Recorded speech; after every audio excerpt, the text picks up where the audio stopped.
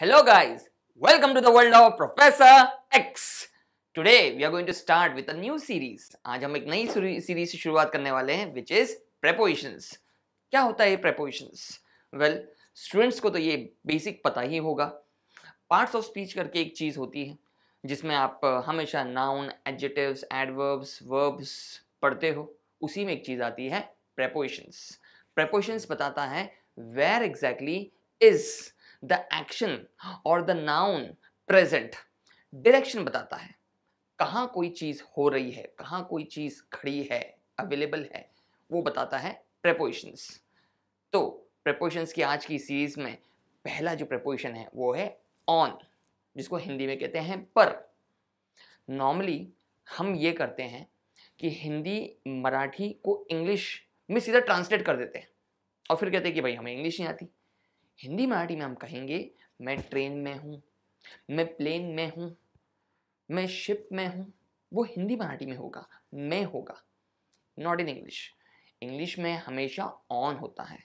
English में हम हमेशा कहते हैं the captain is on the ship the pilot is on the plane the driver is on the truck the passengers are on the train इसलिए अपने Chennai express के गाने में सुना होगा। गेट हाँ बोलिए बोलिए get on the train baby in the knee था। सेम वे हमने पढ़ा था, सुना था मूवी में कि the is a bomb dash the bus in the bus नहीं बेटा on the bus speed movie में देखा था क्या रीव्स नाइस सो याद रखिएगा, इस वर्ड को हमेशा ऑन कहाँ आएगा? It always will come with truck train bus ship plane tempo हमेशा उसमें ऑन होता है इन नहीं होता है। सो so, ये थे आज आपके important words with one single preposition on और ऐसे अच्छे प्रपोजिशन को जानने के लिए नई सीरीज़ शुरू हो गई आपकी। प्लीज़ सब्सक्राइब करिए हमारे इस चैनल को click on the bell icon and join our playlist आदत बहुत बिगड़ दी है मैंने आपकी। तो बोनस चाहिए आज आपको। चलो बोनस में आज आपके लिए अच्छा काम करते हैं। थोड़ी इंग्लिश इंप्रूव करते हैं। इंग्लिश में आपने नोटिस किया होगा एक वर्ड होता है टेस्ट और एक होता है एग्ज़ाम वन सेकेंड हमसे मिस्टेक ये हो रही है कि हम पूरा का पूरा ट्रांसलेशन कर रहे हैं from Hindi Marathi to English तो अगर आपको कहना है स्कूल में आके टीचर को प्रिंसिपल को कि मुझे टेस्ट देना है, कहो, क्या कहोगे इंग्लिश में? I want to give a test है? यही कहेंगे. I want to give an exam जाके अगर ये कह दोगे तो टीचर भी सामने से कहेगी गिव दे दो.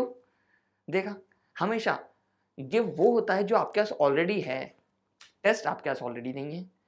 तो हमेशा क्या कहा जाता है इंग्लिश में? इंग्लिश में कहा जाता है ma'am I want to take a test हमेशा टेक अ टेस्ट टेक क्यों? क्योंकि आप जैसे ही टेक कहोगे तो आपको क्या मिलेगा? सबसे पहले आपको बैठने की एक जगह मिलेगी, आपको एक क्वेश्चन पेपर मिलेगा, आपको एक आंसर शीट मिलेगी, आपको एक घूमता फिरता सुपरवाइज़र मिलेगा, आपको एक लिमिटेड टाइम भी मिलेगा। देखा?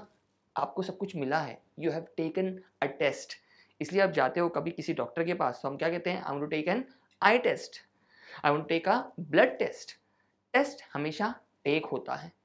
तो एग्ज़ाम के लिए क्या होता है? एग्ज़ाम के लिए होगा ma'am sir I want to appear for exam why the word appear because आपको हमेशा एक सेंटर दिया जाएगा, आपको एक हॉल टिकट दिया जाएगा, आपको एक टाइम टेबल स्केड्यूल दिया जाएगा, देखा? और आपको वहाँ पहुँचना होगा। इसलिए अपियर टू टेस्ट हम हमेशा टेक एग्ज़ाम हमेशा अपियर बेसिक इंग्लिश में याद रखिएगा. एंड प्लीज़ कभी भी हिंदी, मराठी या किसी और लैंग्वेज से स्ट्रेट फॉरवर्ड इंग्लिश में ट्रांसलेट नहीं करना है. Translation out of the window English अलग है, हिंदी, मराठी अलग है. दोनों में सात समुद्र का फासला है. Right right? तो ध्यान रखिएगा. मिलते हैं अगली बार ऐसे अच्छे वर्ड्स के लिए. सी यू गाइज़